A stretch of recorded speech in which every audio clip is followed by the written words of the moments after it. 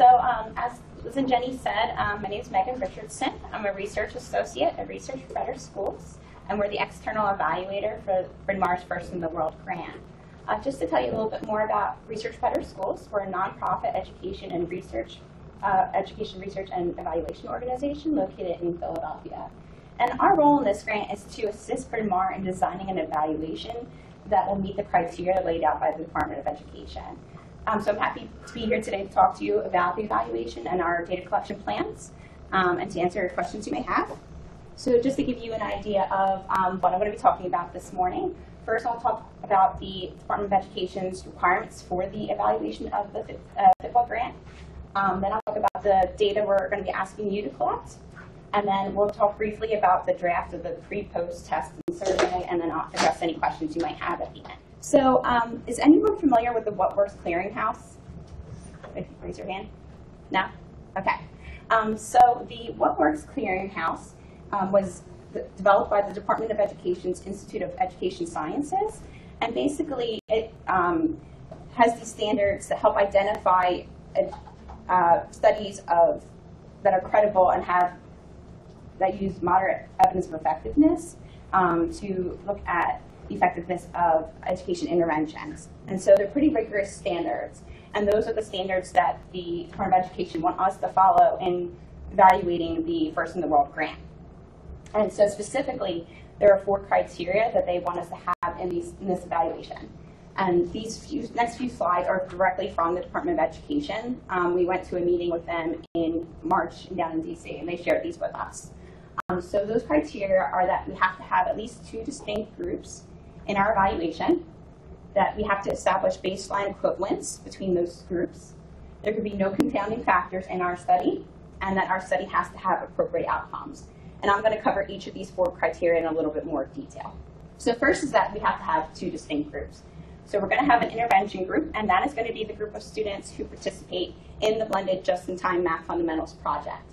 And then we're going to be having a comparison group. Those are the students who do not, do not participate in that. And to further clarify, these two, for the two groups, um, you cannot use one group and do a pre-test and post-test. That does not count. It can't just be one group pre-test, post-test.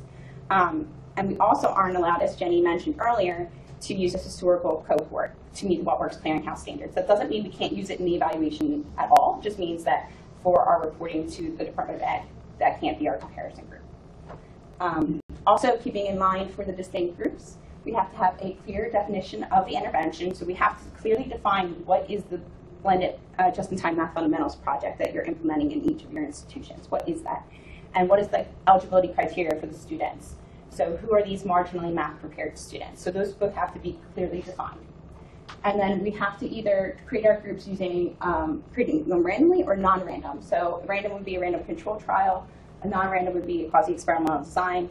Currently, we're planning for a quasi-experimental design just because we know the difficulties that come with trying to do a random control trial in higher education. Um, so it'll be a convenient sample, we use some matching, and it'll be retrospective. Because we are doing a quasi-experimental design, we have to establish baseline equivalence between the two groups to ensure that differences that we're seeing um, aren't related to differences between the two groups prior to the intervention. And so uh, the What Works Clearinghouse has established for post-secondary studies, there are certain areas in which we have to do baseline equivalence. And those areas are, we have to establish baseline equivalence on socioeconomic status. And typically the measure of socioeconomic status that's used for the students is Pell Grant eligibility. And then the other area for which we have to establish baseline equivalence is some kind of academic achievement measure. Um, typically, it's suggested that you use SAT or ACT scores, and in this case, it would make most sense to use the math SAT, ACT, but I, I believe a lot of your institutions are test optional, if that's kind of correct. Yeah, I'm seeing some nods. Um, so that is potentially a little problematic, and so we're also going to be requesting um, high school GPAs. We know that's not the best measure, but um, if that's what we have to use, it's, it's the next best thing. Um, I'm sorry? You don't have either SAT? Many schools don't provide the ranking information. GPA. Yeah. But the GPA as calculated on a 4.0 or 5.0 and Yeah, 4.0 or no. So we can have control. Or three, Yeah. four ages. Yeah, it's how are we, calculating- how calculating that standardly is what I'm. It, it, it's- that's problematic, I know, but um, I think we'll get to that point when, when we're there. Just, just so I'm clear, when we're looking for this baseline equivalence, that's within a single institution. Um, ultimately, we're going to be aggregating all of them. So hopefully, if there's a, a intervention and pairs group at all schools, then it'll still come out with being baseline equivalent. You see what I'm saying? Okay. Um, and then finally, because we are giving out a pre-test, post-test, we'll also be having, having to establish um, baseline equivalence on, on that as well. Um, so there's three things we'll have to do baseline equivalence for. And then um, what Works Clearinghouse looks at your difference. You have to calculate the baseline equivalence and see what the difference size of the difference is. And so if it's between 0 and 0.05, that's considered uh, baseline equivalent. If it's between 0.05 and 0.25, then you have to use some um, statistical adjustment to make them baseline equivalent. And if the difference is greater than 0.25, then they're not considered uh, equivalent at baseline. And then we'll make, we might have to do some matching of some sorts to make them equivalent at baseline. I have a weird question, maybe you answered it, but in Vassar, let's say we have two sections and one, one section is gonna have it and one section isn't in Right. first semester of physics. Okay? Let's say another professor wants to do it in the second semester of physics. Do we then have to control who came through the blended learning? Is that an additional now evening factor of who came through the blended learning? I think, I think that is something we're going to have to consider because it's kind of building uh, more of a dosage Right. if they've already had it. So yeah, that is also. I would assume if it is two sections of the same course taught by the same instructor is what's necessary. You can't have one section doing it with Professor A and the other section that's not doing it with Professor B. well, because we're doing it across so many schools, that's okay. That is it. Yes, because it's across so many schools. Um, so that's not that, that difference won't be attributable to the professor anymore once there's so many schools involved. And I'm sorry, a a lot of this information might be common sense for some people. I, I, don't, I don't mean to offend you if that's the case. This is not comprehensive. All right. And this this part can get a little confusing. I know the people they said that to us, um, and I know this this part happened. So um, the third criteria is that we can't have any confounding factors in our evaluation. So a confound is basically um, a component that's completely aligned to one study condition. So if there's something that's only happening to the treatment group, aside, aside from the intervention, um, or only happening in the comparison group, that can be a confound. It's also something that makes it impossible to attribute the impact solely to the intervention. And so um, they lay out what some of those common confounds are. And as we mentioned earlier, having a single unit, so say if just Bryn Mawr was in the intervention and then Vassar was in the comparison, that's a confound because you don't know what differences are actually related to the institutions rather than the intervention. Um, then, um, as we mentioned a little earlier, um, if the intervention is bundled with other services not being studied, so that goes to um, somebody's point earlier about other interventions, and so we have to be mindful of what those are. When you say bundle, Mm-hmm. um, so a lot of our other services are about like optional Mhm. and not required. So say for instance, the student decides to use SI in addition to being in the section, but they're not required to Right. do it, and we're not. I think we're gonna have to we're gonna have to figure out some way to ask the students um, what additional services they may have yeah, gone to. You know, ask them. You know, did you go to tutoring this semester for math, things like that. So we can kind of account for that.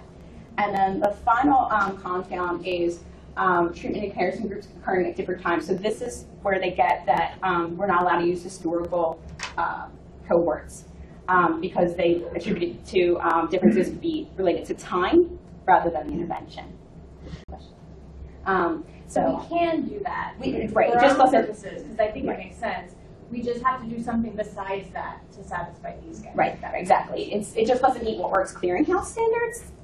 Um, personally, But still good. Yeah, I personally don't have a problem with it, um, but that's their standards. Um, Another thing that we should say in preface to this, to all of this, is that um, even though they were saying research, research, we want really good research to come out of this, they do recognize that we're all trying to deal with very complex um, issues, and so therefore, of course, our interventions are very complex and multi-tiered and interfere with, you know, and draw on other things that are outside of the study, and so yes, it's messy, and they get that. right. They, they, this is just telling us what we need, ideally need to strive for. Right. And we can only do, so- we can do the best we can. Right. So if, say, in calculus, two different instructors are teaching in different ways, one is primarily lecture and I've in recent years have been doing POGIL, so this other sort of group work sort of thing, is that an issue? If we've got a control group doing lecture style and then Yeah. doing like group style. Right. Um, again, I think it should be okay, given that, again, it's so many universities involved, and so that hopefully that won't count for too much. But one thing we'll want to do is once you guys have figured out, you know, exactly which classes this is going to go into and which instructors will be teaching and stuff like that, is we'll want to sit down and say sort of, you know, a little interview. How do you conduct this course? What is it like? You know, just to have that data so that Right. if we notice your class is like way off the charts or something, we can say, hey, if you do this in this way, it appears to be different than if you just do it in any old way. And then our fourth uh, criteria is that we have to have out- appropriate outcomes. Um, they are going to be used to determine the impact of our intervention. And so appropriate outcomes or eligible outcomes are those that have face validity. They measure what they're supposed to measure. They're reliable. They measure things consistently. They're not over aligned with the intervention. I think a good example of that would be, say, yesterday when we were looking at the modules. Um, we couldn't use one of the problems that was in a module in our assessment because the treatment group has had exposure to that. That's kind of unfair to the comparison group. Um, and then it needs to be, the outcomes need to be collected in a similar manner across groups. So we couldn't use, say, an assessment with our treatment group, but then the comparison group just um, do focus groups and somehow try to compare those. Can I, can you go back to that? So this persistence through spring of 2016, what does that mean? So, they, so the, those, the things up there are examples that the uh, Department of Education were giving. They're not specific to our project. So, for example, if you were, um, uh, yes. So if you were if you were looking for persistence, this is the kinds of things that you would need to be thinking about to make sure that you're measuring it correctly. If that makes sense. We're not looking at Persistence isn't one of our outcomes. I'm sorry. I should have been trying to explain that because yeah, throughout the presentation, there's like some examples, and some of them pertain to us a little bit more than others. But that's because these slides are from the Department of Ed. Yeah, so this is that's not specifically one of our outcomes. I'm going to actually just about to get to what our outcomes are and talk about that a little more. Okay, and then there's a few just last criteria from What Works Clearinghouse we just need to be mindful of. Um, making sure we have minimal attrition or loss of participants from the data collection, and then sufficient enough sample size, thankfully, because all of you are involved, that hopefully will not be an issue. We'll have lots of people hopefully participating um, to ensure our, chan- our findings aren't due to chance. Um, so that really kind of covers what the Department of Education is expecting from us. So what does that really mean for you guys? Um, it means that we're going to need some information from you in order to plan our evaluation and then to carry it out. So as Jenny was just showing the um, spreadsheet, that, that quote unquote homework, um, that is to help us, as we were saying, for the evaluation planning. So if you've not had the chance to fill that out, we really would appreciate it. It helps us to determine what makes the most sense for us going forward. Um, and then this information is more related to data we're going to need for um, actually looking at the outcomes of the evaluation. So um, before we ask any data of, for any data from your institutions, we're going to go through institutional review board process and get approval from the institutions um, for the data request as well as for the pre and post test. Um, so you, just so you're aware of that. Um, How many of you guys, just out of curiosity, have, have had experience with working with your IR, um, IRBs? Okay, so for you guys, we're gonna try and, if at all possible, make this, um, exempt, but if not exempt, then certainly expedited. So we, we anticipated not requiring a full IRB review. That helps. Will, will we have to go through IRB at each school? That will be depending on your IRB. Um, our IRB would insist that we did if it was you guys doing this. So basically, what usually happens is Bryn will do it first, and then we'll give you our materials and sort of say, our IRB, you know, letter from our IRB chair saying, we've blessed this. And that usually makes it a lot easier for you guys. Okay. All right, so um, on the blue sheet you have, um, it's basically the same information that's um, on this slide. So even though you're not starting the intervention this coming fall, we're going to ask you to um, start piloting the data collection this fall, just so we can work out any kinks um, and also possibly do the historical comparison as well. Um, so information we're going to be asking for, we're going to be asking it for every student enrolled in the targeted gateway courses, so starting this fall. So every student, um, I think we decided that every student means everybody who's still enrolled after drop ad. Because if they drop before that, then we don't really, we don't really care about them anymore, unfortunately. They're Um, shopping. yeah, they're shopping, basically. And so The things we're going to be asking for is the student's name, their highest SAT math or ACT math score, and their high school GPA. Again, that's so we can establish baseline equivalence. Um, Pell Grant eligibility also for uh, baseline equivalence. Uh, Pell Grant eligibility also is um, of interest because we're going to be looking at several subgroups of the, of the study population, and those subgroups um, are in particular um, low-income students, first-generation college students, underrepresented minorities, and females. And so those next couple of categories, that is why we're asking for that information as well. Yes. How many, what do you mean by gender? Sorry, I have a Mills. Um, Um, Like Yes. male, female, other things also? Haven't gotten to that point to think about that yet. mention Yeah, no, no, it's, it's a good thing to be mindful of. Um, haven't quite thought about that in that much detail yet. Uh, For international students, do you have a plan regarding things like Pell eligibility? I did not. Um, This is why I, I defer. I defer to you. Some of us have really high percentages Okay. of international. Yeah, Right. I, I would defer to you guys. I want to say that. the Department of Ed really isn't concerned about them. So, Yeah, I would think You know what I'm saying? So in some ways, um, probably we're looking at Americans. Um, and so we will collect data on all of your Oh, international students and yeah, stuff like yeah. that, but probably what we'll be focusing Yeah. on is the Americans within Yeah, it. got If it. that makes sense. Sure. But then, of course, how do you define an American and who's Right. foreign and get their pieces Well, he used it. Yeah. How are we defining first generation status in this program? That's again something I think as a group we need to talk about. Um, I, I don't have expertise in defining that, so um, I would defer to you guys on that as well. And I suspect mm, we don't all have the same definition on our campuses. so we need to collect those definitions and and carry them forward. Right. forward. And that's one of the reasons we need to work with your IR people and actually iron out. people. IR people, sorry.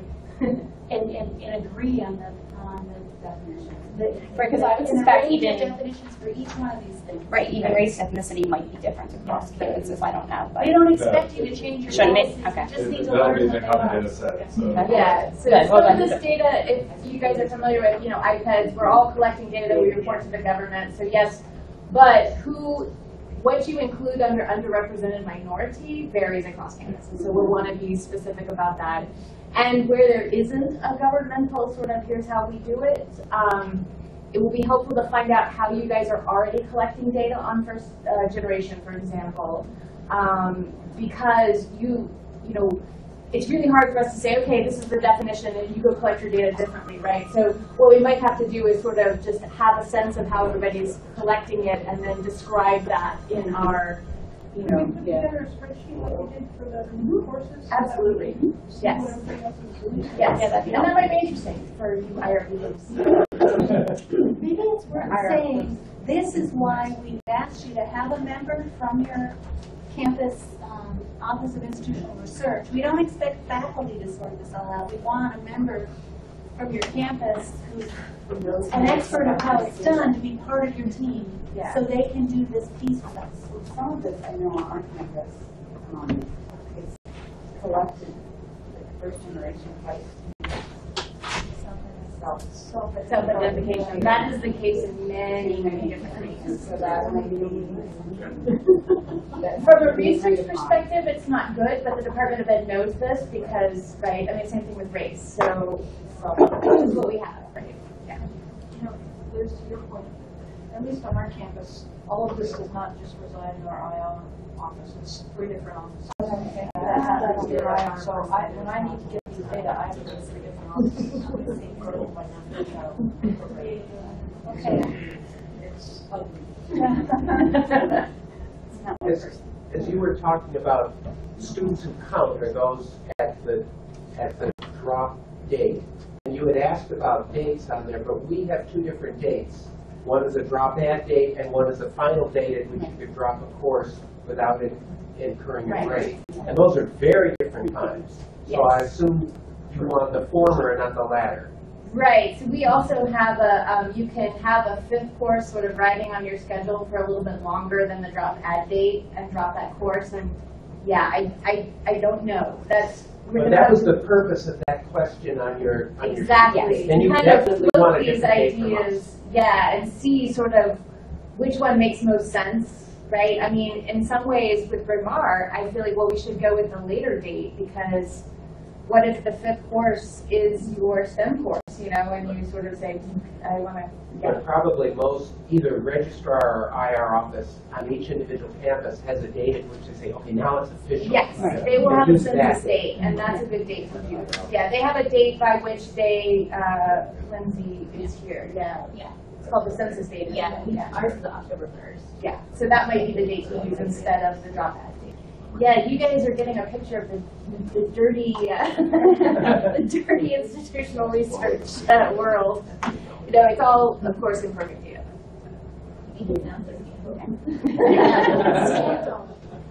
All doing it. All right, so then some other data we're going to need is um, the semester and year entered college, um, so we know who the population of students are, as well as um, when we can expect to ask for other outcome data related to, you know, if they're freshmen, then we'll know, okay, in four years is when we'll ask about did they graduate in four years. Um, we'll want to know if they're a graduate of a remedial math program, if such programs exist at your institution. Uh, we'll want to know if they're marginally math prepared. I believe the definition of that is still to be determined by each institution. I think. Um, And actually, we have since been talking about maybe it makes sense to not ask that and just sort of figure that out from the data. That makes sense. Yeah, So th- th- that one's still to be determined. Um, And then we'll start asking about some of our short-term outcomes. Um, Oh, no, I'm sorry. If they came in with their major already declared, we'll want to know that. Um, And and then we start getting into some of our short-term outcomes. Their final grade in the targeted gateway course, and then the results on the, this pre and post test is what we'll be asking for this fall. So then we're going to need some student data, again, um, starting spring of 20, uh, I'm sorry, fall of 2016 and later, once, once you actually start implementing the program at your school. And so we'll need to know for each student whether or not they were in the intervention or comparison group. Uh, for intervention students, we'll want to know how many modules they completed, how many coaching sessions, or whatever your in-person component is, how many, how many sessions of that they uh, attended. And then we'll, for our like intermediate term outcomes, we'll need to know uh, the semester and year of their graduation, their major at graduation, and then their major, their GPA and their major at graduation. But that's after the period of the spring. Yeah. Yeah, they Right. don't graduate outside the screen. Yeah. I believe there's supposed to be agreement that you'll still collect this even though. Yes, there is actually a clause in the, um, the, uh, the thing that says we're all committed to doing this through 2020.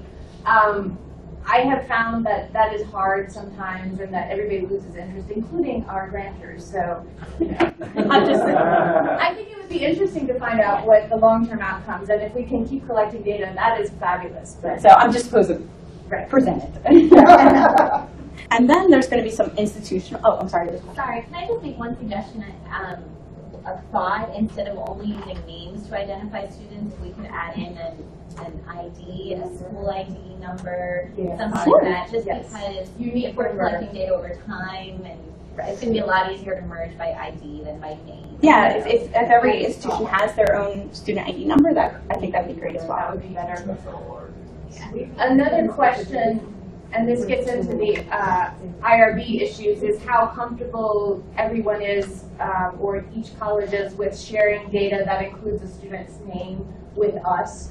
You guys might find your IR um, or equivalent wants to do the sort of collecting with a unique number and just giving us the number and not the name. They might not even want to give us the number. They might want to give us just totally anonymized data, in which case they would have to be the ones matching over time. Right, right. So that's just a concern, basically, is that we need to be able to match different data to these students over Right. a number of years. We need to do it, or you guys need to do it, but it needs to happen. So, so actually, it it occurs to me, we have students, uh, particularly international students, where we do not know their gender. So, in addition to, Right. they identify a gender that's not the standard, we need a, we don't know. Yeah, And we're I I mean, I think in some cases they're just going to be missing information, and that just is what it is. And it's interesting, so that we're, I guess for the purposes of this study, women in STEM are considered an underrepresented group, right? So what we really want to know is, are they a woman? Or, um, now, does that mean, do they self-identify as a woman? You know, do they, I don't care in some ways, right? um, so, it's not really, we don't really want to know their gender so much as whether or not they fall into the underrepresented category of women, if that makes sense. Not cis male is really what you're interested in. Yeah. Yeah. Yeah, exactly. Birth gender. Um, so then some of the long-term outcomes that the grant had is that um, at an institutional level, there would be some change in the number of percentages of various groups declaring a STEM major and completing a STEM major, and so that's what we're going to be asking for. Um, we have to establish what the baseline years are. They're to be determined, and that's the green sheet, I'm sorry. Um, and so once we identify what those baseline years, we'll start asking you for that information. And that's also why we asked you to identify a peer institution, because fingers crossed, we're going to ask them to be very nice and share uh, with us this institutional level data on their schools as well and use them as a comparison group, um, maybe possibly incentivizing them by um, sharing modules with them in the future. And also some of this is IPEDS that we can. use. Um, just a comment about peer schools. I, don't think Grinnell is unusual in that we have a group of peer schools that frankly is skewed toward the high end rather than really peers because there's a certain aspirational element. I'm, I'm, I'm aware. That, right, that, that can skew your comparison. Right, right. So I'm, I'm going to have to like mine the uh, uh, suggested peer schools and kind of, yeah, to figure that out. Also, we are, uh, in many cases, certainly Smith, Vassar, you know, we're, we're each other's peers too. which is- So that's, yeah, that's the other thing. Yeah, that's the Not other use problem. each other. Okay, and then, um, oh, do you have the copies I of do. So I only made 13 copies of these because they're long. One for each campus. You can share, but they're only, they're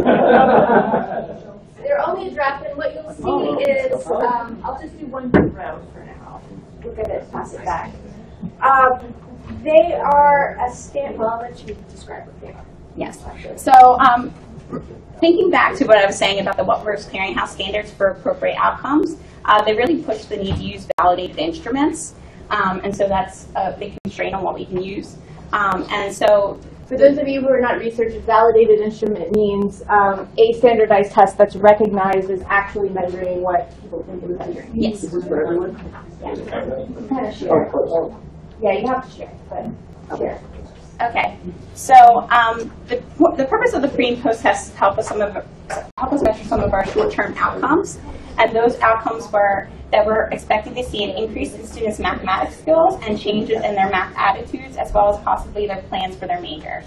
Um, and so that's what the purpose of this pre-post survey and test are. So um, we started by looking for validated instruments to measure mathematics skills, and um, it's just in draft. It's it's, uh, but we are possibly looking into using the collegiate assessment of, uh, I should say academic proficiency, sorry. Um, and it was created by the ACT. It's 35 questions long and about 40 minutes and measures skills in pre-algebra, elementary algebra, intermediate algebra, coordinate geometry, college algebra, and trigonometry. And so I had looked at that list of modules that um, was provided yesterday and tried to see if a lot of those topics would be covered in this test. And it's not a perfect match, but a lot of those topics are covered in this test. Yes. Um, what about uh, students with documented uh, learning um, issues who get things like time and a half to go home? Is that going to be taken into consideration? We hadn't thought about that yet. Um, I guess I can get back to you when we've had some more time to think about that. That's a good question. Um, and then next, we wanted to look for a validated instrument that would measure um, things related to math attitudes. And so there's the attitudes towards mathematics inventory, and this is the shortened form. And it's 15 questions, which take less than 10 minutes, and it measures math attitudes and enjoyment of math, self-confidence in math, and perceived value of mathematics. Should you give that before the test? I've been very by I'm open to that suggestion. I debated it before I made it. I think it's gonna be a pre-post. Yes, so that's definitely a consideration. We could change up the order. I'm, I'm That would fine be with that. interesting, Yes. Now how do you feel? Now that, yeah, now you took that awful test, and now you realize you don't know anything. Maybe they need, they need an affirmation at the end. Yeah. To make them feel good about the class. Some kind of weird stereotypes where you're like, I feel bad about math and now I'm going to take a math test. Right. I'm going to do worse. Yeah. Yeah, so, so there's. Yeah. Oh, yeah, no, lots of data. yeah, it's- It's not complicated. Both things are bad. Yeah. Um, and then finally, there's just two questions at the end that were created by RBS, Research Better Schools. That just ask about students' interest in a STEM major, as well as asking them about the role that mathematics will play in the selection of a major. Um, so again, this is in a draft form. Yes. I just, when you have the STEM fields, there's a lot of students, at least at our institution, that think they're going to major in pre-health, even though that is not a major at our institution. Especially when they're starting, we don't know that they're going to have to choose biology or chemistry. or Ah, right. And so I'm wondering if there's any thoughts to putting pre-health or Health, health-related right, fields health in fields, yeah. Um, I just- a lot, sometimes that's included in a STEM discipline and sometimes it's not. Yeah, I just used the definition that was in the grant proposal. That's, that's what's No, currently on that's there. something to, to to talk about, and maybe what to- we should find out is if the Department of Ed is defining STEM, we should probably use their I know, I know NSF has definitions, I'm not sure about. NSF includes, includes or excludes psychology? That's the Right. Includes, includes psychology, yeah, so that's a weird one. but- Yeah. Now, now this pre-test, you're at Bryn Mawr, this coming year going to be pre-testing this pre-test, right? I mean, Possibly, if we, if this is the one we just said use, is it draft? Because this is, this is definitely not necessarily one you're planning to use. I, I, a quick look at this suggests that, uh, this group that we're specifically targeting and with the particular needs that we have in our courses Mhm. would maybe get through ten questions in forty minutes or something like that. I think they would be completely destroyed by this. Yeah. Yeah, I think this would scare off a lot of my faculty. I'm not sure I could finish this test minutes. Well, and one of the things we need to think about is too, um, what is reasonable to ask in terms of a course, like a 50-minute course session, right? And so definitely we want to, you know, if it doesn't make any sense, if it's too long or if it's too hard or if it's whatever, we need to find something that's more in tune with what we need. But, but it's a great starting point. So, so, so I could suggest maybe that we actually do all get a paper copy of this, mm-hmm. and we circle the questions that we felt would be relevant. Mm-hmm. That's good. And then you could come up with a consensus of that that's a subset of this. Okay. Would it make sense for, me? I can go and make paper copies now if, if that mm-hmm. makes sense, if you guys want to do it and hand it back? And also, are the repeat questions the same type of material? Could we, you also want to categorize these things, what topics are being questioned, you don't want to duplicate that. Right. Hopefully it's done, but I'm sure. So I don't think everybody heard what the proposal is. What are you guys discussing doing? Well, we were talking about going to, um, uh, I could run off some more copies and these guys could go through and kind of vet questionable things and, and, uh, circle questions that are useful. Lindsay? I was gonna could we put it in a Google Doc and then you can circulate Yes. it amongst your faculty too, if Now- you need to? Now, there's, Katie, what's really important to be clear here, that we, it's, that we've got our own objectives for the success of the the intervention in our students, and we've got this task to use an instrument that's been vetted nationally. That's what I was gonna say then. That's So the problem we the run purpose into. of this pre and post test is quite narrowly defined for Megan. In some ways- It's not my requirements, it's the in market. some ways, in some ways, you're raising a really good point. What's the purpose, and is it an undue kind of burden on faculty and students to take it? But it's, um, we may want to separate out these two needs and handle them differently. And so I don't think we can change this exam if we want it to serve Megan's purposes. We would have to find another exam shorter, easier. I, I mean, to the best of my knowledge, this is the standard one. This is the best I could find. Now, if, if somebody else finds something better, I can more. I'm all open to it. And what we've given you is, is the validated instrument. Right. Not, you know, And it's, it's, we have to say the shortest that we found, so. So there's, there's other things like, for example, you could reorder the questions. So the first. can't. No. No. no. It's like saying we're reorder the SAT. We don't have that policy. So, We also, we need to get, yeah, we need to get permission from ACT to administer it. so from the math side, a suggestion, the Mathematics Association of America, I know in the late nineties, they had a handwritten test similar to this, that was only twenty questions, and it was interesting because some of it just tested pre-algebra, or sorry, pre-calculus, and then some of it tested trig, and it was kind of broken into two sections. It was much more condensed, and we've actually used that as a, a pre-testing tool in Denison to kind of, you know, as a sorting hat, so to speak. Uh, they've since moved that online, um, so you got to jump through some hoops. I think they use Maple now. Anybody in the math world back me up on this. The the MAA's test, the te- master placement test. Placement test. But anyway, that's a, that's a nationally, Okay. that's our, that's our organization, it's been vetted and tested Yes. statistically, Yeah. yada yada. so. Okay, I'm making. And what, what if you have an ornery faculty member who won't do it? Yeah, who, who all would you envision doing this? Because as some of our things are control groups, are you saying everybody at our institution in every section of every introductory physics and math and chemistry course is gonna take this? That's not gonna fly. Right, right, and I, give it two class times, one at the beginning and one at the end. And yeah, does it have to happen in the class time or not? I would argue it doesn't have to. I mean, we But have I to. still have ornery faculty who might, you know. Oh, yeah, oh, it can become an assignment that the students have to complete in We their should, own we should time. talk about the uh, ways in which we can make this um, possible, um, to collect this data um, with this instrument on our campuses. There's no assumptions about it having to be in a class, and there's no assumptions that students that are taking multiple classes would take it multiple times. Oh, yeah, if a student's We in- have to right. work out an implementation scheme. Is, is there any money in the budget? We have to wrap this up, but we'll move the group down to Dalton to